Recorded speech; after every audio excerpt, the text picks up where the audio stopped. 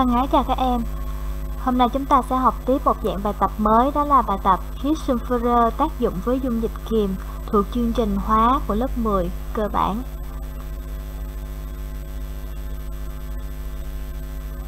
Dung dịch kiềm ở đây chúng ta chỉ xét hai loại, đó là natri hydroxit hoặc là kali hydroxit. Thì dạng bài tập này có hai phương trình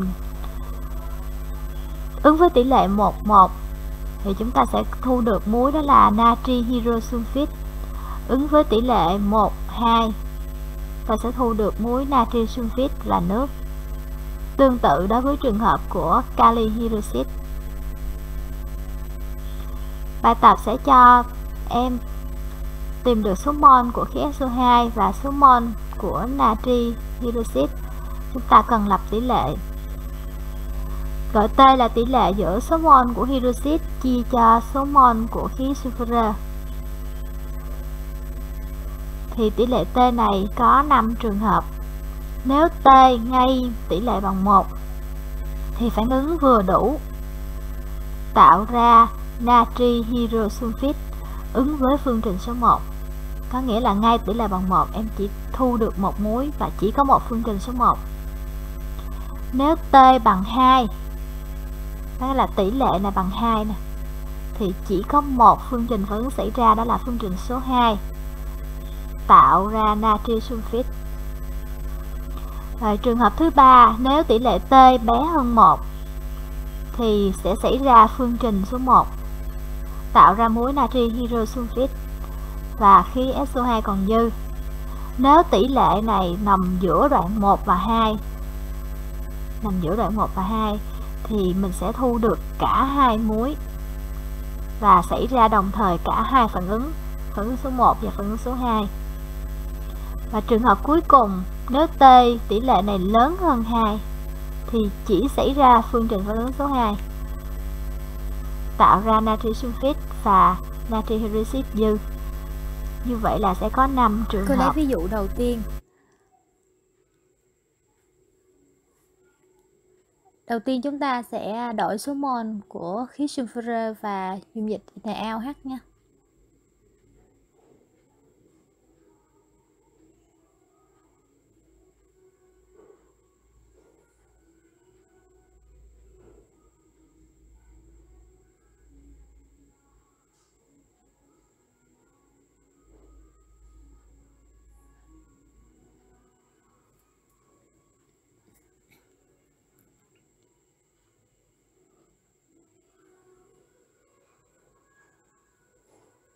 Rồi tiếp theo em lập tỷ lệ lấy số mol của NaOH chia cho số mol của khí SO2.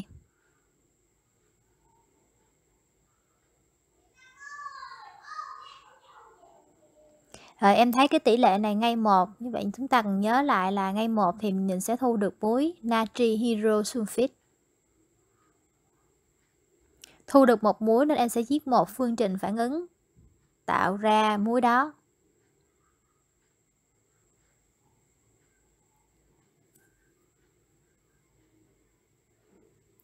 Rồi cả hai cùng phản ứng vừa đủ ha. Chúng ta điền cả hai số mol vào.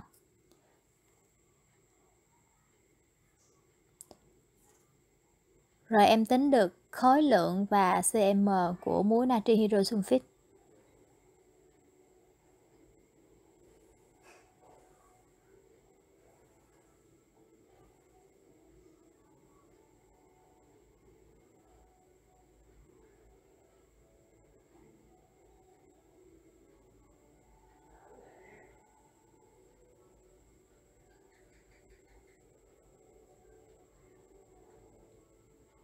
Ở đây thể tích là 200ml thì cũng bằng thể tích dung dịch sao phản ứng ha. Tại thể tích thì thay đổi không đáng kể.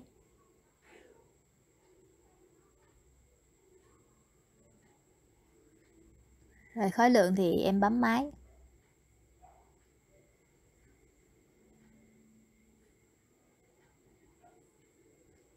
Em ra là 15,6 gram. Như vậy là chúng ta đã làm xong đây là trường hợp đầu tiên. Sang ví dụ thứ hai.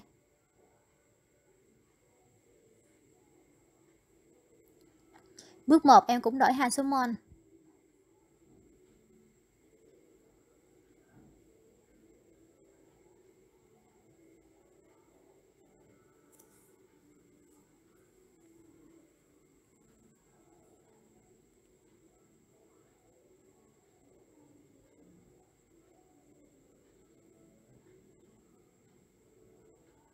Rồi bước 2 mình cũng lập tỷ lệ T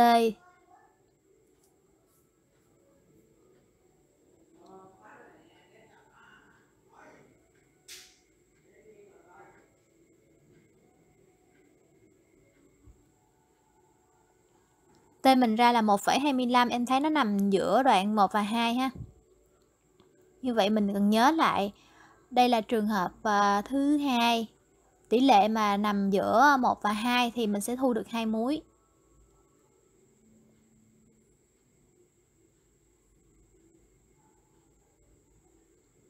Thu được hai muối cho nên em sẽ viết cả hai phương trình phản ứng.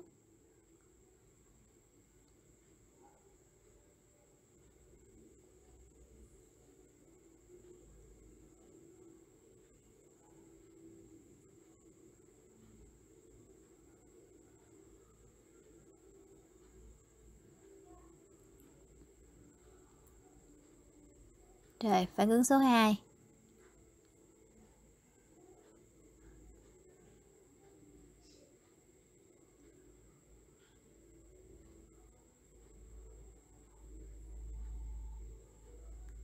Rồi trường hợp này chúng ta sẽ đặt ẩn XY. Cô đặt ẩn XY là mỗi số mol mỗi muối ha. Rồi em sẽ điền vào phương trình phản ứng. Em có thể điền à, đặt ẩn XY ngay tại cái phần mà thu được mỗi muối luôn.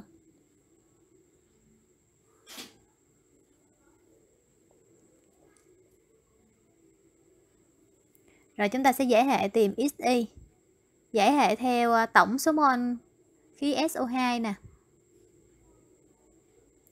Và tổng số mol của NaOH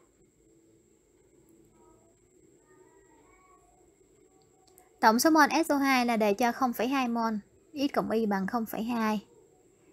Với NaOH là x cộng 2y bằng 0,25.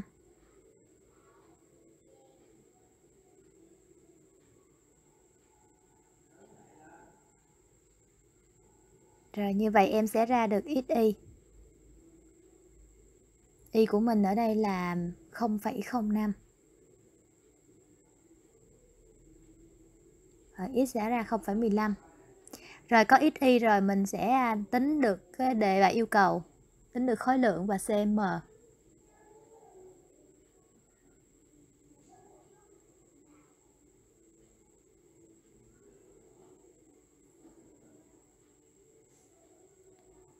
rồi cái phần khối lượng là do các bạn gần hết ha em tự tính khối lượng giùm cô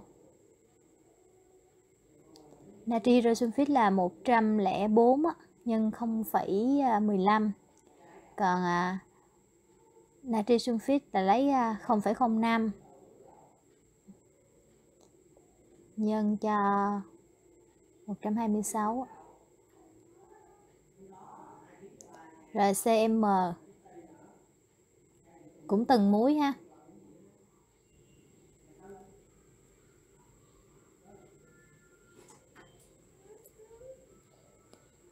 Rồi ở đây em nhớ là thể tích mình cũng lấy luôn là thể tích của NaOH là 0,25 lít. Rồi vậy mình đã đáp số, em nhớ là sẽ có hai muối, rồi tính được hai khối lượng và hai cái nồng độ cm ha. Rồi em tự bấm máy giùm cô. Dạng này sẽ thường gặp nhất. Rồi tiếp theo mình sẽ lấy một cái trường hợp dạng khác nữa, đó là ví dụ 3. Để đây cho em KOH ha. Rồi mình cũng làm tương tự đối với giống như là NaOH bước 1 đổi số mol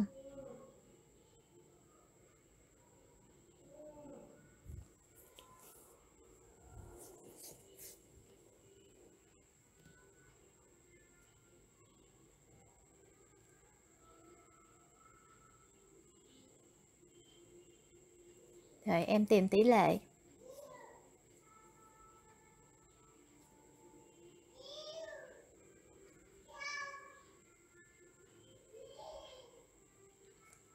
Em thấy là nó lớn hơn 2 mình sẽ thu được một muối là K2SO3 và KOH còn dư.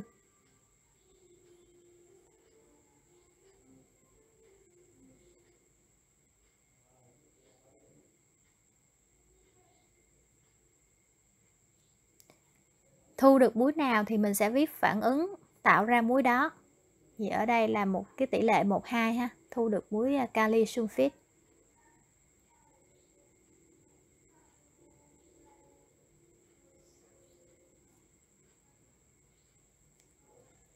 mình sẽ tính theo SO2 vì cao H dư nên tính theo số mol SO2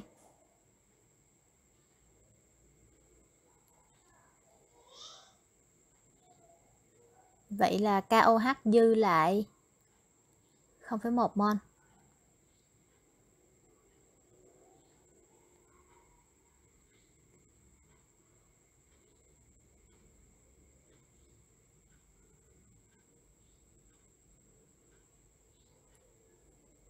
Rồi, khối lượng mình cũng tìm hai chất nha. Khối lượng của kali sulfit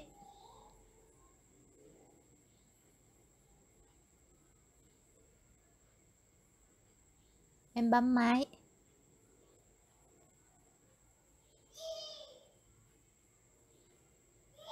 Ra 158 nè.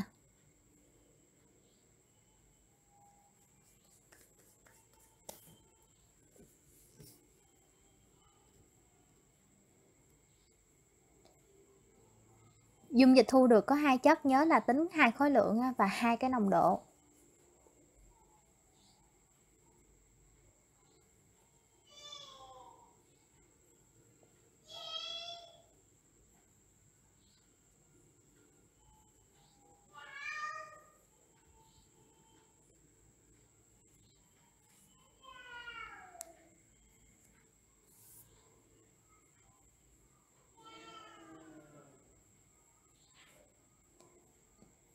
Rồi thì cô thấy là hai muối này có cùng số mol cho nên nồng độ sẽ bằng nhau ha. Rồi cô ghi chung luôn. Em được phép ghi ờ, tắt như thế này bằng luôn. Tiếp theo là ví dụ số 4. Thêm một dạng trường hợp nữa ha.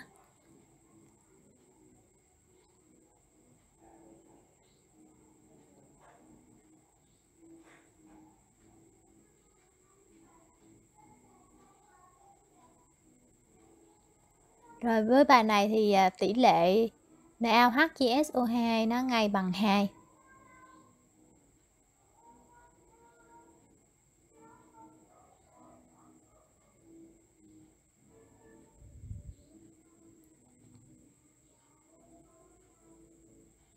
Ngay tỷ lệ 2 như vậy phản ứng vừa đủ ha và tạo được một muối, muối trung hòa đó là natri sulfit. Rồi em sẽ viết một phương trình. Ứng với ngay tỷ lệ 2 á.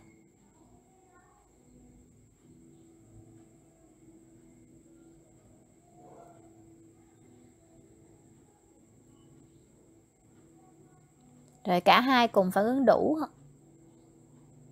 0,3 0,6 mol.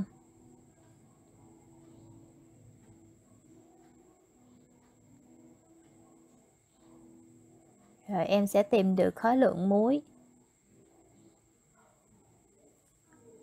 Chỉ có một muối thôi.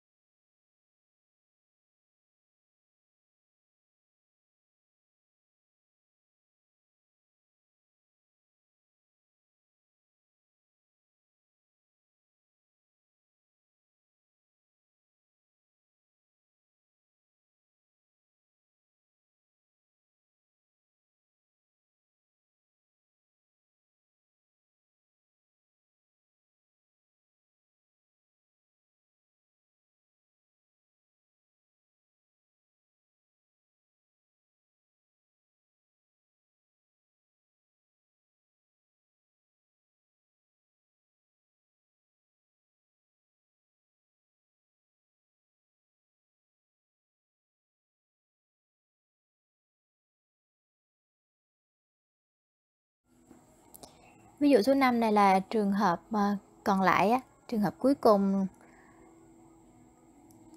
cô đổi số mol khi SO2 và số mol của cao H ha.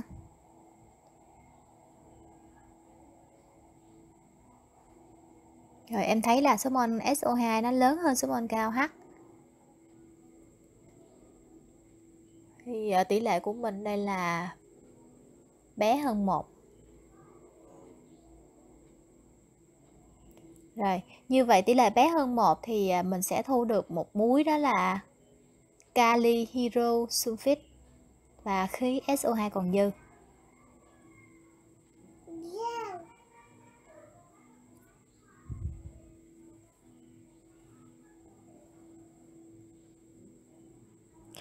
cái muối này nằm trong dung dịch ha còn khí thì không phải khí nó thoát nó còn dư nó sẽ thoát ra khỏi dung dịch nhưng dung dịch của mình chỉ thu được một muối thôi rồi em sẽ tính được cái uh, khối lượng và nồng độ.